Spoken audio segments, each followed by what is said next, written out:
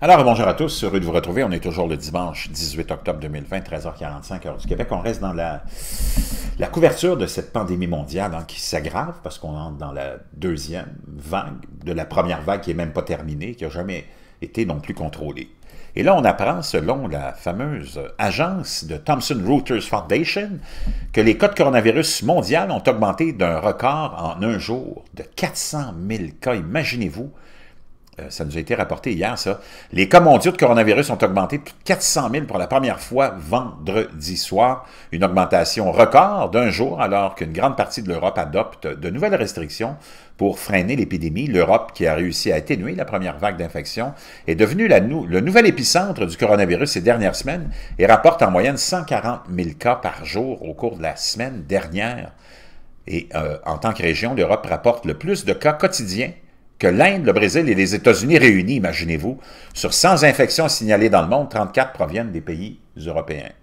Soit, une, selon une analyse de Reuters, la région signale actuellement 1 million de nouvelles infections environ tous les 9 jours et a signalé plus de 6,3 millions de cas depuis le début de la pandémie les principaux pays, euh, les principaux pays européens, le Royaume-Uni, la France, la Russie, les Pays-Bas et l'Espagne, ont représenté environ la moitié des nouveaux cas en Europe au cours de la semaine précédant le 18 octobre. Selon les décomptes de Reuters, la France enregistre la moyenne de 7 jours la plus élevée des nouveaux cas en Europe, avec 19 425 infections par jour, suivi du Royaume-Uni, de la Russie, de l'Espagne et des Pays-Bas, et euh, dans les pays européens les plus touchés Plusieurs pays européens sont en train de fermer euh, des écoles, d'annuler des chirurgies électives et de recruter des étudiants médecins alors que les autorités font face à une résurgence du COVID-19. La Russie fait passer les étudiants à l'apprentissage en ligne et l'Irlande du Nord ferme les écoles pendant deux semaines et les restaurants pendant quatre semaines. En Espagne, les autorités catalanes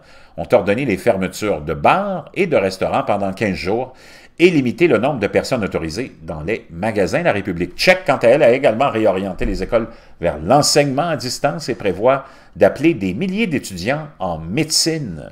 Les hôpitaux réduisent les procédures médicales non urgentes pour libérer des lits. Les responsables de la santé polonaise ont averti que le pays était au bord d'une catastrophe, un record de 6526 nouvelles infections, à coronavirus et 116 décès ayant été signalés cette semaine. La Pologne intensifie la formation des infirmières et envisage de créer des hôpitaux de campagne militaires. L'Amérique latine est la région euh, la plus touchée avec environ 27% du total des cas de COVID-19, suivi de l'Asie, de l'Amérique du Nord et de l'Europe selon une analyse de Reuters. L'Inde, elle, quant à elle, rapporte euh, moins de cas ce mois-ci par rapport à septembre, avec 69 000 cas par jour. Selon l'analyse de Reuters, les chiffres ont chuté de plus de 20 400 au cours des trois dernières semaines, en baisse de 22 par rapport au sommet précédent. L'Inde a signalé 55 342 cas le 13 octobre, sa plus faible augmentation quotidienne depuis le 18 août. Aux États-Unis, qui comptent le plus grand nombre total de cas et de décès au monde, les nouvelles infections augmentent légèrement, avec les patients COVID-19 les plus hospitalisés. Depuis il y a de plus en plus d'hospitalisations. On a eu les, les cas, euh, les jours les plus, où il y a eu le plus d'hospitalisations depuis le début septembre.